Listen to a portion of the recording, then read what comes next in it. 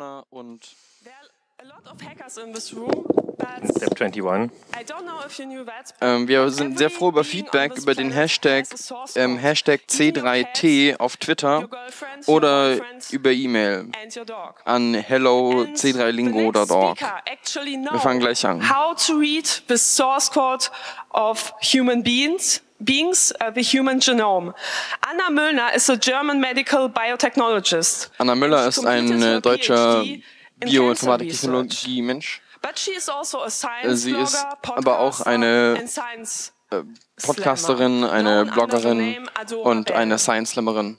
Sie sagt Etwas, das sehr interessant ist für mich als ein Privatsphärenaktivist. Sie sagt, Genome Sequencing gibt uns die Möglichkeiten für biologische und medizinische Anwendungen, aber mit privacy. Problemen in äh, Ethik und äh, Privatsphäre. Bitte einen ordentlichen Applaus für Sie.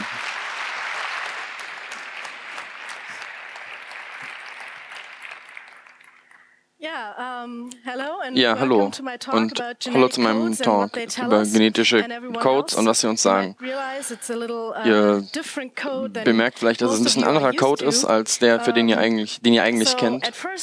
Ähm, also möchte ich am Anfang erstmal mich vorstellen und wer, ich, wer bin ich und warum bin ich hier.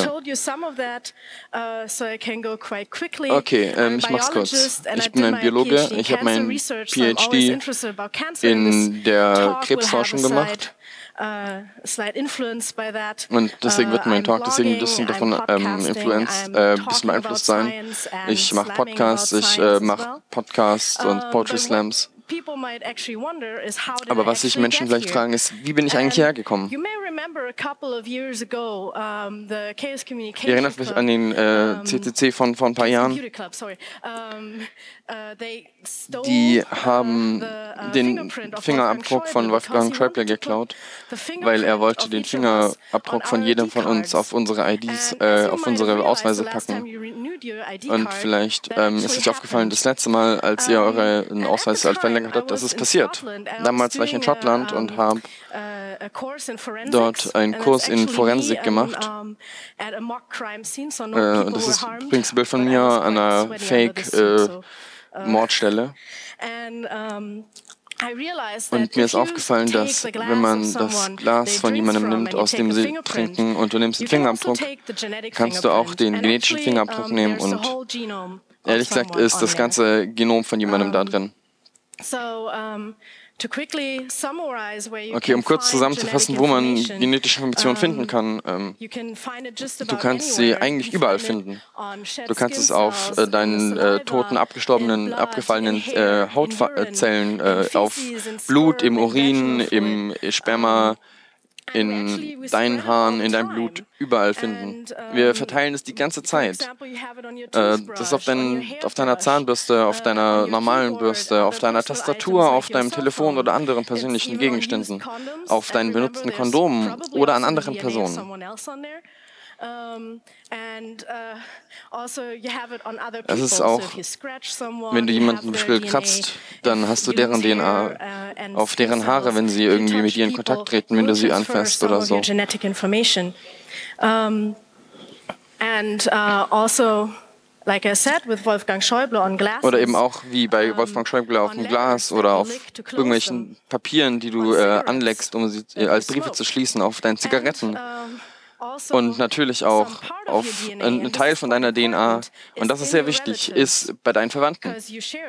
Weil ihr teilt euch eure genetische Informationen zu einem gewissen Grad.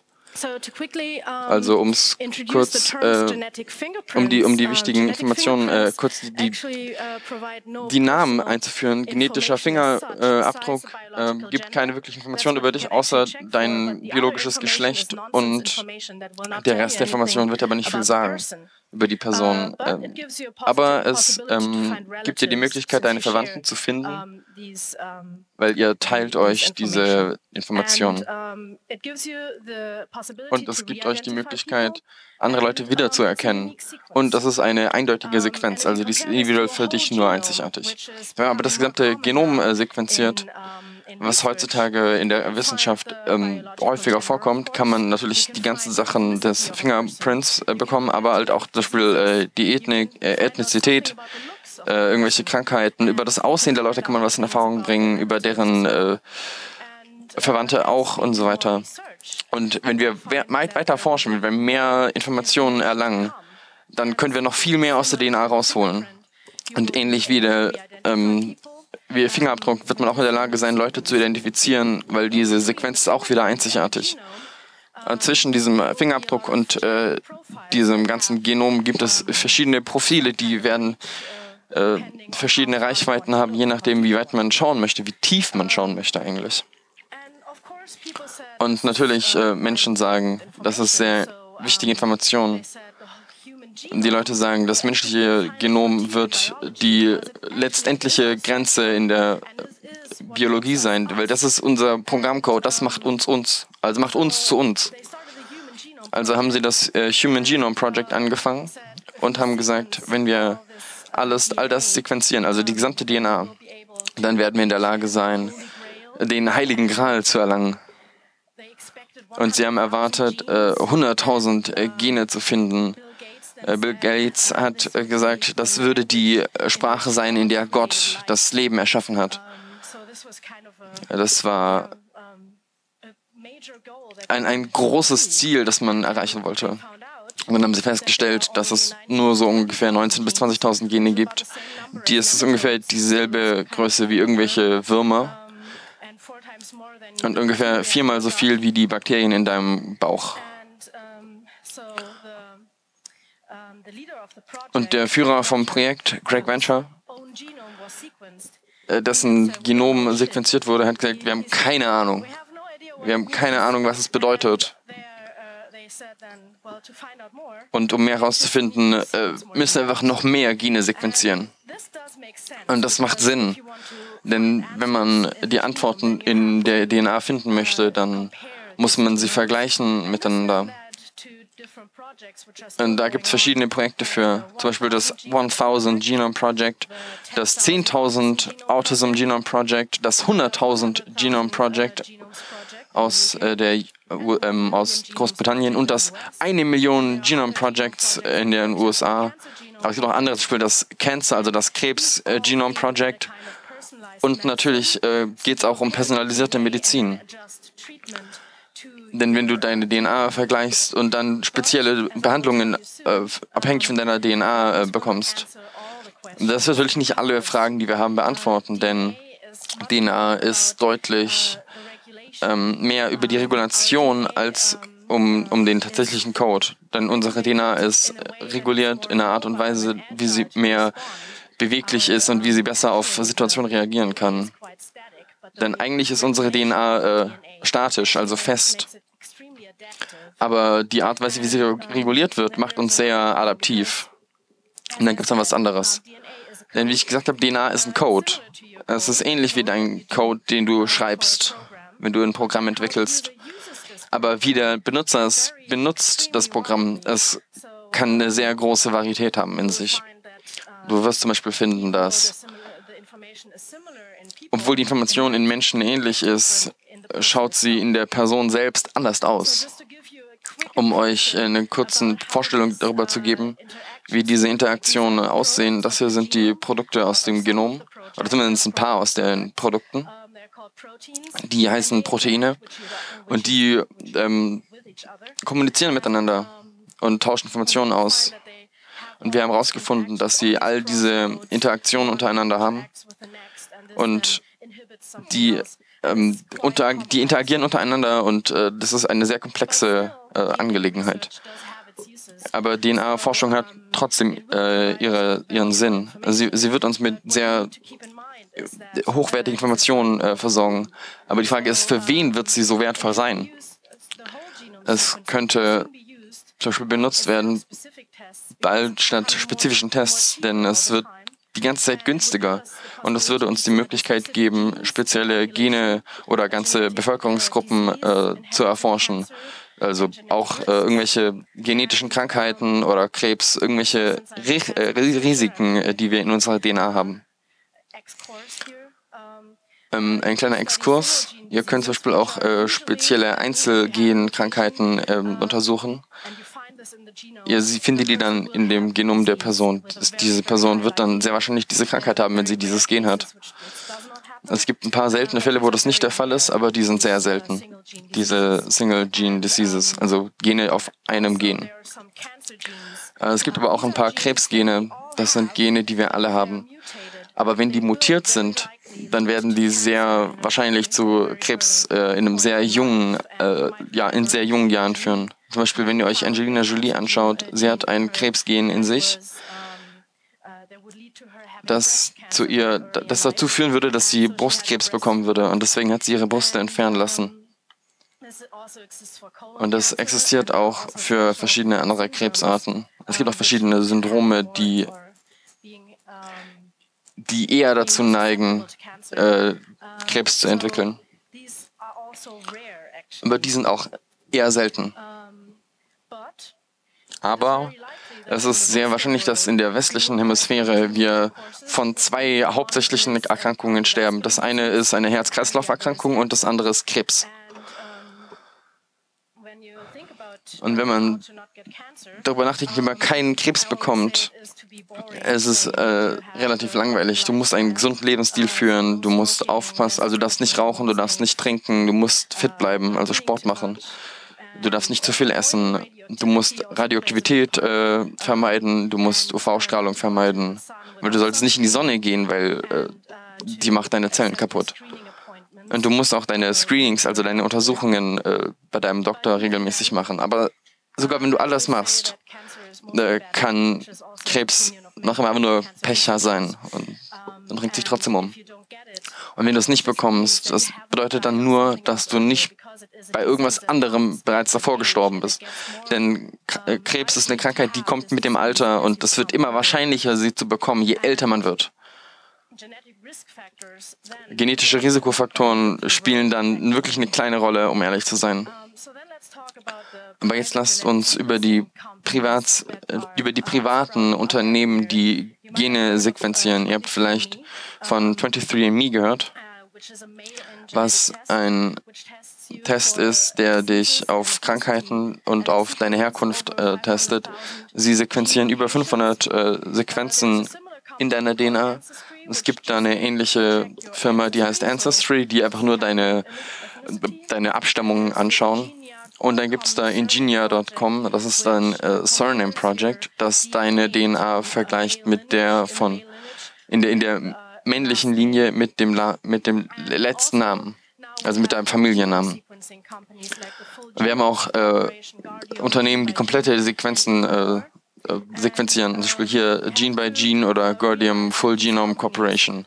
Aber ihr müsst euch klar sein, dass diese Unternehmen eine große Menge Informationen gespeichert haben. Und das ist zwar alles äh, äh, sicher und okay, weil in den USA hat man regelmäßig gesehen, dass, das, dass die Regierung Privatsphäre sichert. Und das wird sich natürlich unter dem neuen Präsidenten auch nicht verändern. Sicher nicht. Aber bereits in 2010 hat Kashmir Hill, eine ähm, Autorin, etwas über Genome Hackers geschrieben, wo sie eine Menge Sicht in die Zukunft erwiesen hat. Und ich werde hier kurz ein Zitat machen. Wenn Gentests äh, mehr normal werden, steigt die ähm, Wahrscheinlichkeit für das Ausnutzen davon. Die Bank wird sich, wird dir vielleicht eine, ein Angebot machen, dass sie deine, dass sie, dass sie dir eine, einen, dass sie dir ein Haus bezahlen, wenn du ihnen deine DNA gibst. Äh, sie werden vielleicht von deinen Sorry. Ja, und was ist dann die Grenze? Also, was sollten die Strafverfolgungsbehörden dürfen, wenn sie, wenn sie, wenn sie glauben, dass, dass äh, vielleicht irgendwo ein Match zu einer ähm, zu einem Tatort hergestellt werden kann? Ja, und ich glaube, das ist erst, das ist ein Bereich, der gerade erst an Bedeutung gelangt, weil es halt super wichtig ist und ja, es ist halt nicht klar, was die Grenzen sind, was die Bü Bürokraten dann damit machen dürfen und was nicht. Und es ist halt so dieser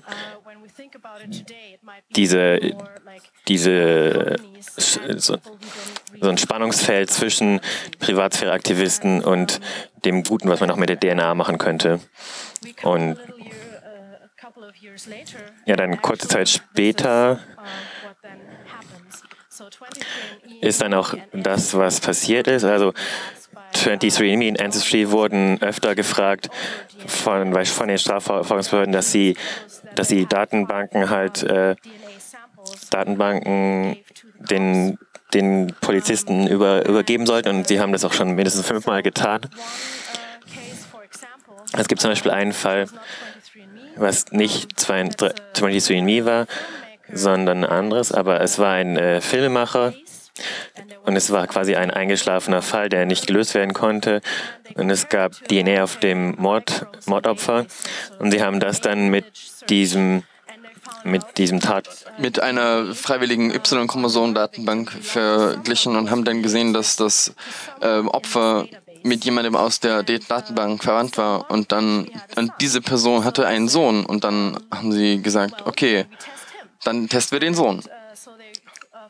Und sie haben festgestellt, dass der Filmmacher Osiri, äh, sie haben ihn getestet und dann haben sie gesehen, dass die gesamte DNA nicht passt und er wurde äh, freigesprochen. Und ein Statement vom Privatsphäre-Officer von 23andMe zeigt, äh, wo wir hinkommen werden. Denn sie sagte, in einem Fall, wo wir von der Regierung dafür äh, dazu gezwungen werden, die Information weiterzugeben, werden wir dem Kunden nicht darüber Bescheid geben, weil sonst würden wir uns nicht an Gesetze halten. Also wenn eure DNA so interessiert, äh, interessant wird in einem Fall, dann sagen sie es vielleicht, aber vielleicht auch nicht. Und dann gibt es natürlich auch dieses Ich habe nichts zu verstecken Argument. Es wird alles sicher in Ordnung sein am Ende. Bitte erinnert euch immer daran, dass es so Sachen wie extraplatzierte Beweisstücke geben kann und es relativ einfach deine genetisch, genetische Informationen an einem, an einem, an einem, an einer Mordstelle äh, abzulegen. Und das könnte zum Beispiel äh, Beweise geben, die einfach nur dadurch äh, zu dir weisen, weil du halt dort arbeitest oder so. Und erinnert euch mal an den Heilbronn-Phantom Heilbronn-Phantomfall, äh, wo sie die DNA von Person, einer Person in mehreren äh, Fällen gefunden haben, die komplett nicht damit verbunden waren. Da hat sich später festgestellt, dass die Frau in den Röhrchen war, die sie benutzt haben, um die Beweise zu untersuchen. Denn die Frau, die diese Dinger hergestellt hat, die hat sie ja alle damit kontaminiert, mit ihrer DNA. Wie ihr euch vielleicht erinnert, wird das zu einer Menge Verwirrung, hat das zu einer Menge Verwirrung geführt in der äh, Kriminalinvestigationsszene geführt.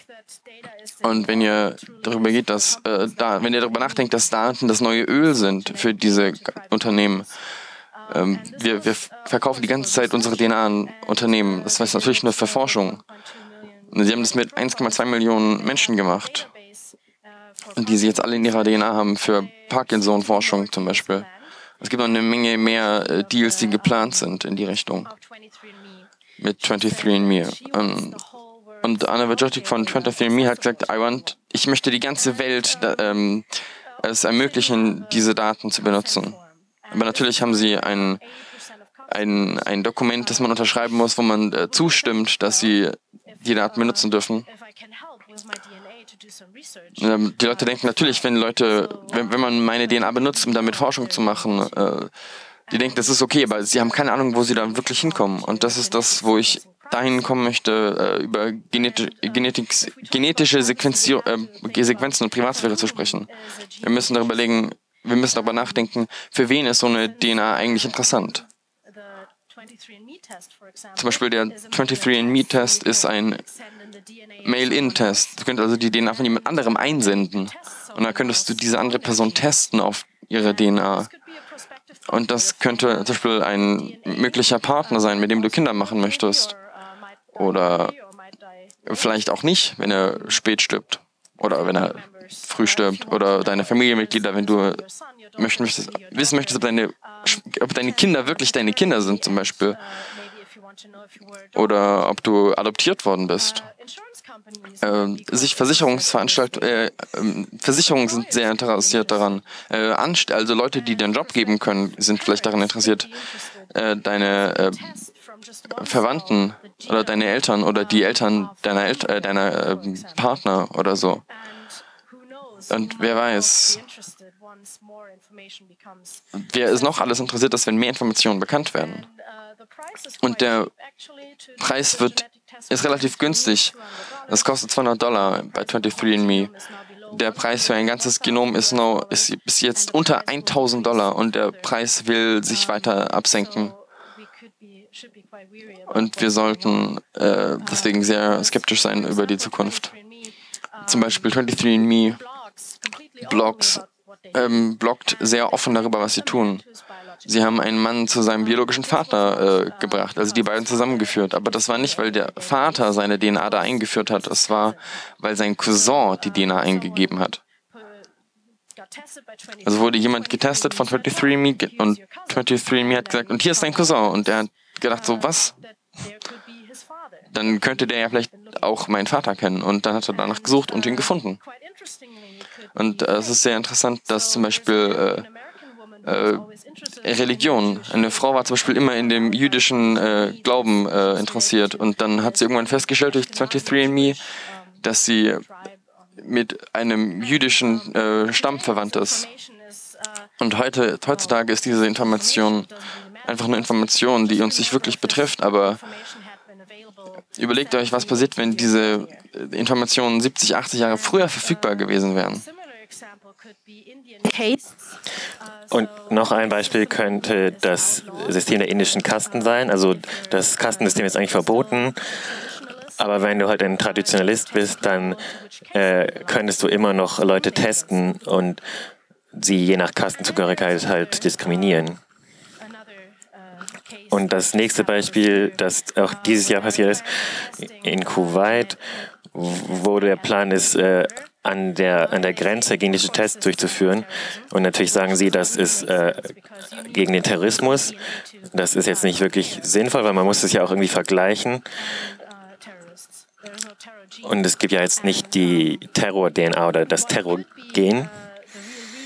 Das, der wirkliche Grund könnte sein, dass man die nicht äh, Kuwaitis draußen hält, weil sie zum Beispiel Nomaden, Beduinen und so äh, haben, die sie nicht wirklich ähm, mögen und dann vielleicht raushalten wollen. Und sie können auch äh, Familienmitglieder testen, um halt zu wissen, wer jetzt, äh, wer halt ähm, den entsprechenden Glaubensregeln und so gefolgt ist und wer nicht. Wenn ich, äh, als ich mich mit meinem Talk beschäftigt habe und den vorbereitet habe, hat jemand sein, sein ganzes Geno Genom ähm, äh, sequenzieren lassen und dann, dann hat, äh, hat er ein, ein, eine Festplatte bekommen und das ganze Genom war darauf verschlüsselt und mit TrueCrypt und wir wissen jetzt zwar, dass es wahrscheinlich nicht wirklich sicher ist, aber wir müssen halt sehen, ja, es kann halt kann nützlich sein, aber es kann auch äh, gegen uns benutzt werden. Und es ist natürlich relevant für die Forschung und viel, viele, viele Genome werden für Forschungszwecke äh, gelagert. Und zum Beispiel David Goldstein hat gesagt, es gibt so, so einen Drang dazu, immer mehr und mehr genetische Informationen zu sammeln und die alle sequenziert werden. Aber die Frage ist halt nur, wer es macht und was damit, was damit passiert. Und das Problem ist dann, was man, wie man das halt macht. Und die, um, um, wirklich was damit machen zu, machen zu wollen, muss man die Daten dann noch teilen und man muss sie vergleichen. Das heißt, ähm, ja, das ist halt dann ein Problem, das auch äh, ethisch richtig zu machen. Und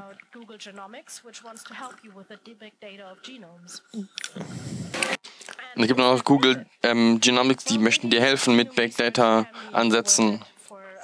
Also ist es es wert. Es kann auf jeden Fall einen Wert haben für spezielle Fälle, für das Behandeln von Krankheiten. Oder auch in, ähm, in der Forensik, wo wir aber uns überlegen müssen, bis zu welchem Limit. Für eine individuelle Person sind genetische Tests äh, sicher nicht so oft notwendig, außer dein Arzt empfiehlt es dir vielleicht. Aber du musst dir überlegen, ob deine, äh, deine Vergangenheit wirklich so wichtig ist für dich. Ähm, und du musst dir immer im Hinterkopf behalten, es ist nicht nur deine Information, es ist auch die Information von deinen Verwandten und deinen Kindern zum Beispiel. Möchtest du wirklich wissen, was die Tests dir sagen? Wenn da drin steht, dass du irgendeine äh, Krankheit hast, die nicht behandelt werden kann, willst du das wissen? Und außerdem, du kannst deine DNA nicht verändern. Wenn sie rauskommt, dann ist sie für immer draußen. Du kannst sie nicht verändern. Es wird immer dasselbe sein und du wirst immer wieder wieder gefunden werden. Also ich möchte euch allen äh, für eure Aufmerksamkeit bedanken. Ich hoffe, ihr habt noch ein paar äh, Fragen.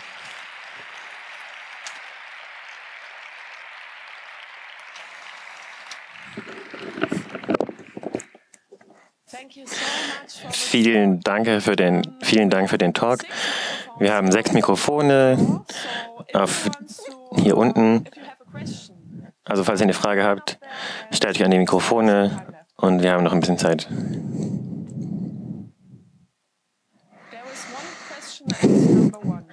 Eine Frage bei Nummer zwei. Vielen Dank für den Talk und die Infos. Achso. Hi.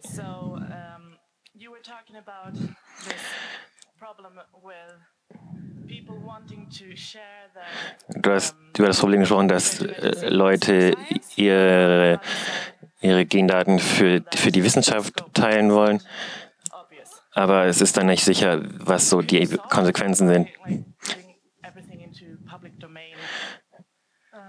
Könnte man, könnte man das vielleicht dadurch, dadurch lösen, dass man dass, dass man alles Public Domain macht, das ist dadurch lösen. Also so Public Domain of All Genomes, das wäre vielleicht so eine Post-Privacy-Lösung.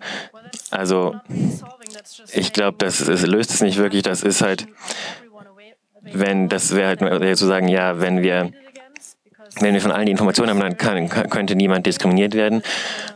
Aber ich bin mir nicht sicher, ob das funktioniert oder ob das wirklich funktioniert, weil das, dann müsste man ja für alle Leute auf der Welt diese Entscheidung treffen. Und danke für die Frage. Jetzt hat eine Frage aus dem Internet. Wenn du deine DNA nicht an äh, Firmen geben möchtest, gibt es die Möglichkeit, diese Tests zu Hause auszuführen. Also das Testen der DNA wird mit 23andMe gemacht, aber du kannst verweigern, dass Informationen geteilt werden. Und dann müsstest du hoffen, dass sie es auch tun. Aber ich weiß nicht, ob du dann, ob, ob es dann nicht vielleicht noch für Polizeiinvestigationen vielleicht doch noch wieder rauskommt. Also es zu Hause machen ist wahrscheinlich ziemlich schwer, weil die Sequencing-Maschinen sehr teuer sind und auch sehr schwer zu benutzen. Aber es gab die Überlegung, es mit dem äh, Handy zu machen, mit einem sehr kleinen Gerät halt. Aber ich glaube nicht, dass es bereits verfügbar ist. Eine andere Quest äh, Frage von Nummer drei. Hallo, aus deinem Expertenstandpunkt. Bist du in einer Datenbank für Knochenmarktransplantation? Und ja, bin ich. Und ich habe das gemacht, wenn ich, als ich 16 war. Und ich habe da jetzt nicht wirklich drüber nachgedacht. Und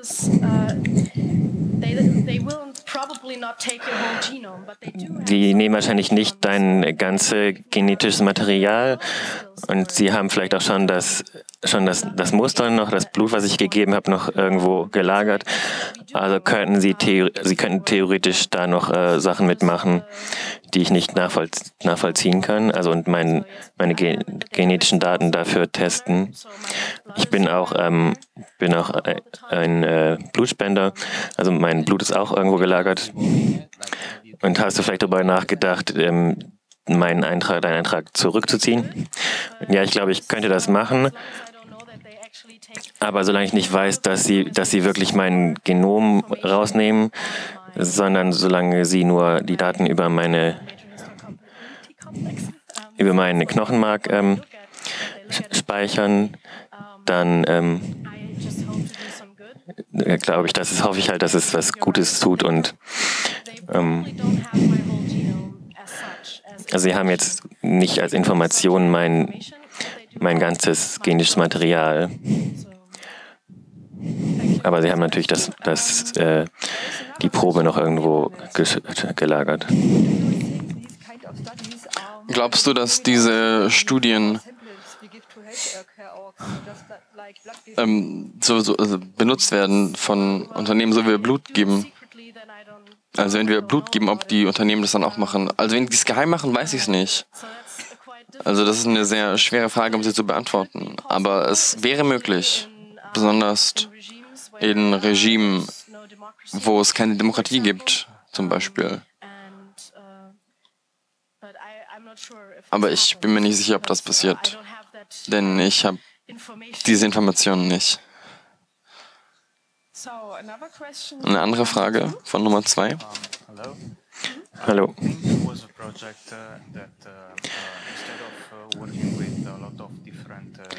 Ich glaube, es gab ein Projekt, das anstatt mit vielen Gensequenzen versucht hat, mit, mit einer, mit einer kleinen Gensequenz äh, gearbeitet hat und das hat, das hat dann das Privatsphäre-Problem gelöst. Also weil sie dann nur auf die Unterschiede schauen. Also es gibt ein Format, das nur auf ähm, Unterschiede aus, und zwischen den Genom, zwischen genetischen Sequenzen äh, schaut, also das Delta quasi. Aber das gibt einem dann nur das, was nicht normal ist. Also, um ein Wahrscheinlichkeitswort äh, zu benutzen. Also, es ist halt komprim mehr komprimierte Information davon, was dich auf deinen, was du, was dich, was deinen genetischen Code ähm, definiert. Okay, das war die letzte Frage. Wir haben keine Zeit mehr. Aber damit kommen wir zu der Verabschiedung. Wir bedanken uns äh, für